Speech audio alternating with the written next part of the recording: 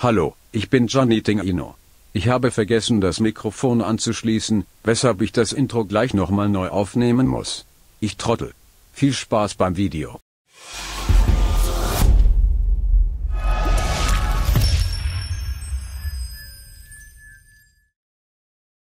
Gut. Du, ich glaube, du vibrierst, könnte das sein? Kaya. Ja. Hallo Kaya, falls du dieses Video siehst, du rufst an.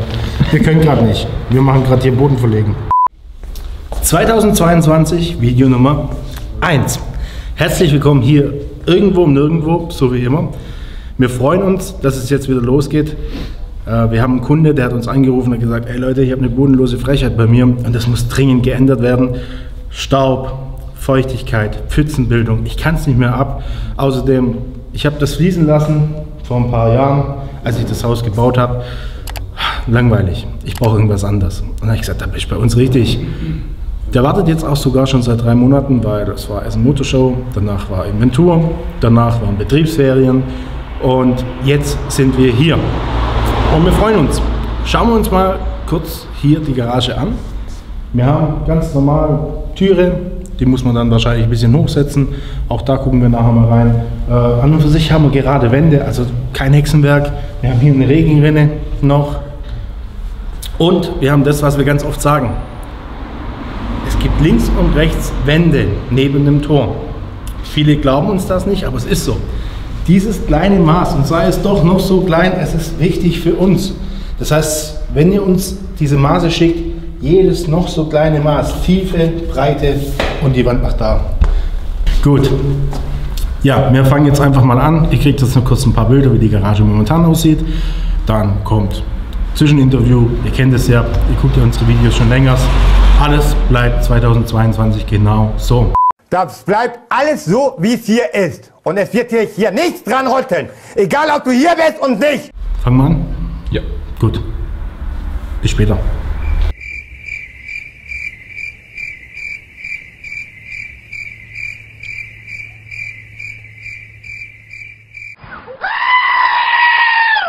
Wie fangen wir an? Wir haben hier einen Expansionsteil.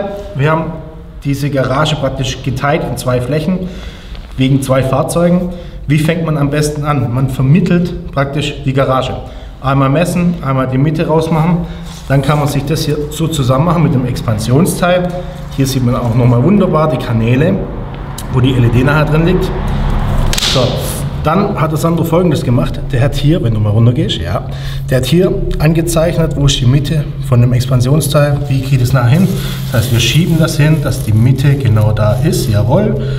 Dann Tor runterlassen und dann an die Lippe dran schieben. Natürlich noch bedenken, dass das äh, Seitenteil dran muss. Das heißt, ich tue es zurück, Seitenteil dran, Tor zu, dran schieben, fertig erledigt. Ganz wichtig, ganz wichtig, sonst stimmt nachher gar nichts mehr. Deswegen kurze Info vorab. Ja. So schleift er, ähm, schleift er weniger. Mal gucken. Mit Sicherheit. Ja, ja, kein Problem. Mir ist irgendwie Um was geht's? Ausmittlung. Wir mitteln gerade den Boden aus. Ähm, wir haben jetzt bis zur Hälfte gelegt und dann haben oder ein bisschen mehr als die Hälfte haben gesagt, dann ähm, platzieren wir die Seitenteile, äh, um zu gucken, ob das auch mit der Gummilippe abschließt. Und tut's. Beziehungsweise ja, mit der Aluschiene. Also wir haben uns uns darauf geeinigt, dass wir zur Aluschiene ein bisschen Abstand lassen. ähm, lassen. Genau. Okay. Weil sonst würde ja das Seitenteil aus dem Boden rausschauen. Das sieht dann, wenn das Garagentor zu ist, von außen sieht das ja nicht so gut aus. Deswegen haben wir uns entschieden, dass wir es an der Aluschiene vorne aufhören lassen. Genau. Und dann haben wir das Garagentor runtergelassen. Passt perfekt. Und haben jetzt den Boden ausgemittelt an den, an den Wänden, dass wir überall parallel sind. Und jetzt legen wir das Stück, das letzte Drittel fertig. Und dann beginnen wir mit Schneiden. Wie habt ihr das ausgemittelt? Weil ich äh, doch schon eine Fläche. Ja, eben. Ähm, also wir hüpfen meistens also immer zusammen. Wir, wir zählen 1, 2, 3, hüpfen zu, zusammen in die Richtung. Oder wenn es halt präziser werden ähm, ähm, sollte, dann ähm, reicht es auch. Der Dennis hat dann so mit dem Fuß gemacht, so ein bisschen draufgeschlagen in die, in die Richtung. Das langt dann auch schon. Oder halt manuell ziehen. Größere Schrecken ziehen. Genau. Und halt zu zweit mit Meterstäbe, er an der Seite, ich an der Seite, messen, sagen und dann muss man halt rechnen, wohin muss man. Genau, richtig. Genau. Cool. Jetzt machen wir das letzte Drittel. Wie lange habt ihr jetzt gebraucht für das hier? 12 Minuten, 12 Minuten. Garage hat 44 Quadratmeter, sagt der Performance Floor Friends. Also das war jetzt bei 130, Ja, 30, 32. 30 Quadratmeter, 12 Minuten. Ja, mit was kann man das denn groß machen? Die Problematik mit den Expansionsteilen, weil Expansionsteile haben natürlich ein bisschen Wei- Weichmacher drin, weil wie das Teil, wie der Name schon sagt, das Teil soll expandieren. Das heißt, bei Wärme Wenn die Bodenplatten ausdehnen, genau, die expandieren dann die Bodenplatten, das solltest du das aufnehmen. Genau. Und die biegen sich immer wieder oder dehnen sich immer wieder in die Ursprungsposition zurück. Das sieht erstmal ein bisschen wild aus. Da denkt man, oh. Aber wie man sieht, die biegen sich wieder zurück. Genau. Und dadurch, ähm, das ist noch unser altes Stiftsystem, was auch aber überhaupt gar kein Problem ist.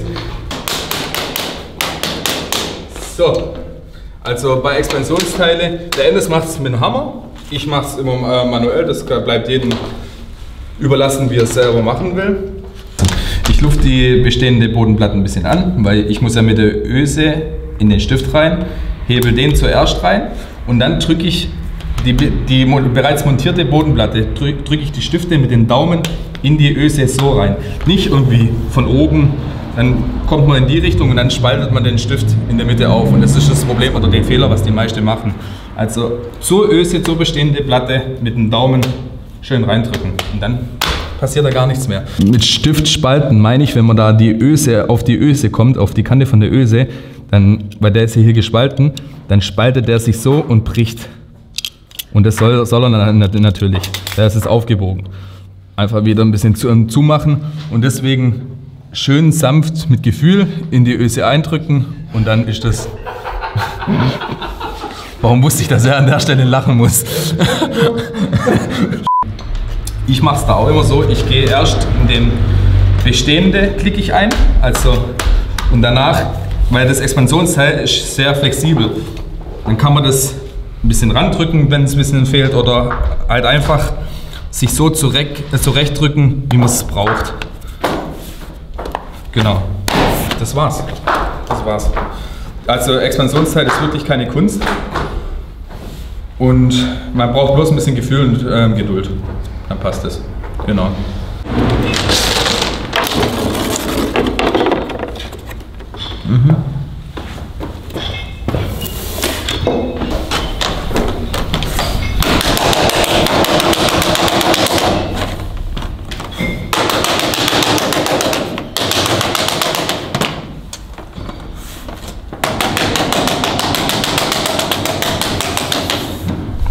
Ja, Performance for Friends, wir sind jetzt fertig mit Verlegen.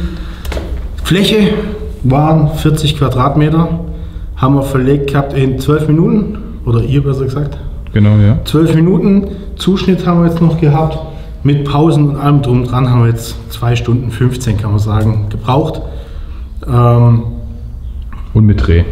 ja, mit Drehen und allem drum Ja. dran. Also ähm, man könnte sagen, Rein Boden eine Stunde. Eine Stunde. Lass es Stunde 15 sein. Ja. Genau, richtig. Wie schnell kann man eine Garage verändern? Mit einem geilen System, einem einfachen Klicksystem. Unser Performance Floor Friend ist mehr als begeistert. Der stand vorher schon in der Dings drin, hat nur genickt und gesagt, geil. Und das ist das, warum wir das machen. Mit Kleinigkeiten viel bewegen, viel verändern. Und ja, im Prinzip gibt es eigentlich nicht viel zu sagen. Wir hatten schöne gerade Wände, das heißt, man konnte Maß nehmen. Mit unserer Schneidemaschine, die ihr auch im Video im Schnitt gesehen habt, ähm, die kann man auch bei uns mieten.